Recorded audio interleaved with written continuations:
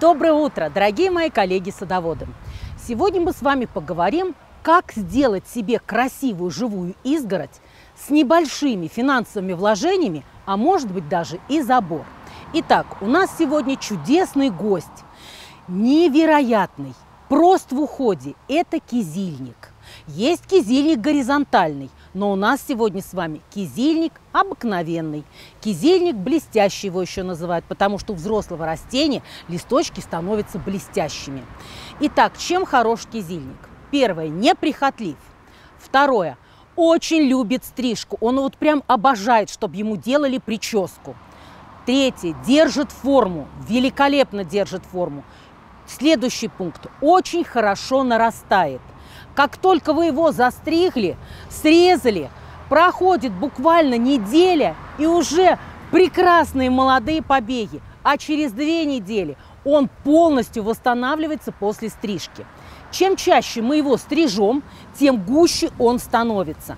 Из кизельника можно сделать не только живые изгороди, можно сделать целые живые стены – потому что высота этого растения достигает метр восемьдесят, метр семьдесят. То есть вы можете создать вот такую живую стену. Если нужно укрыться от соседей, нужно создать себе какой-то уединенный уголок, где вы можете насладиться чашечкой ароматного чая, побыть в тишине, в покое. Вот именно такую зону себе сделать тоже подойдет кизильник. Как мы его сажаем?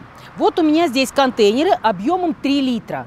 Это достаточно э, хороший размер контейнера для посадки. Можно, конечно, сажать и растения с открытой корневой системой, но ограничен период высадки.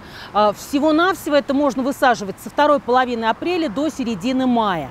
А потом растения с открытой корневой системой не сажают. В данном случае у нас с вами есть контейнер. Посмотрите. Вот такой хороший контейнер, очень удобный. Объем контейнера 3 литра. И мы с вами можем сажать э, и создавать декоративные изгороди, можем сажать практически весь сезон до октября. Обратите внимание, все растения в контейнерах сажают все лето. Итак, когда мы с вами в мае сделали основные посадки, гонка, быстрей, посадили, посеяли, убрали, обработали. И дальше у нас немножечко есть пауза, вздохнуть, передохнуть и посмотреть, а что же я еще хочу в своем саду. И вот тут-то как раз мы вспоминаем, что есть кизильник, который, высадив около забора или вдоль забора, мы можем создать прекрасную живую стену. На каком расстоянии сажать, как э, для посадки на живую изгородь, потому что мы сегодня говорим именно об этом формате посадки. Расстояние выдерживайте 40 сантиметров. Если хотите быстро уплотниться, можно сделать 30 сантиметров. В основном 40 сантиметров. Идеальный вариант – посадка в два ряда. Мы сажаем их в шахматном порядке. Первый ряд высаживаем на расстоянии 30-40 сантиметров, отступаем также 30-40 сантиметров и делаем второй ряд именно в шахматном порядке. То есть вот эти пустоты между горшками во втором ряду, они закроются и у вас сразу получается полноценный, красивый, пока живой бордюр. Дальше, как только мы с вами растения высадили, их можно подкормить чтобы они активно росли. А в фазе активного роста, если сейчас, можно добавить любое комплексное минеральное удобрение весна-лето. Прекрасно подойдет.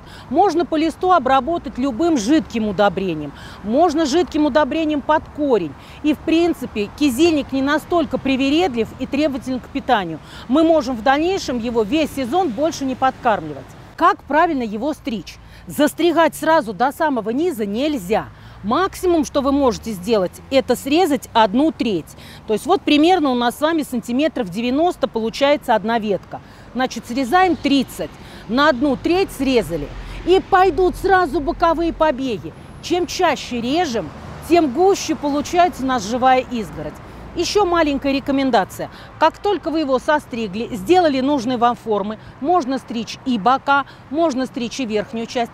Возьмите ампулку препарата циркон, разведите ампулу на 10 литров воды и обработайте всю свою живую изгородь. И у вас получится нереальной красоты живая изгородь или живой бордюр или живая стена. Все зависит от той высоты, которую вы хотите сделать. И еще таким живым бордюром можно отделить зону сада, зону огорода от зоны отдыха и декоративной зоны.